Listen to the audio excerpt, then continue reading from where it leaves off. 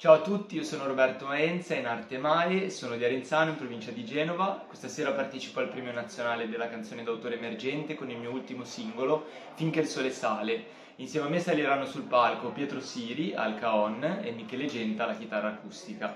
Il brano che presentiamo è un brano che parla di una relazione, una relazione amorosa, sentimentale, in cui bisogna affrontare un sacco di difficoltà e ostacoli, ma poi alla fine insomma si trova sempre il modo per apprezzarla e per renderla, come dire, degna di essere vissuta.